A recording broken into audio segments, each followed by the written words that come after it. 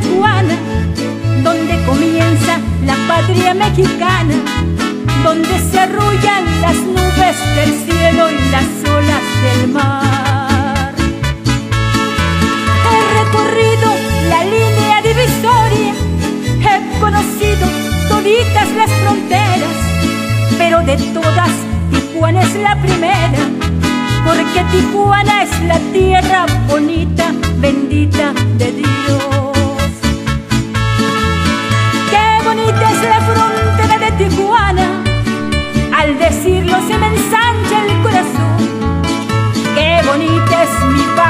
California, que es orgullo de toda la nación.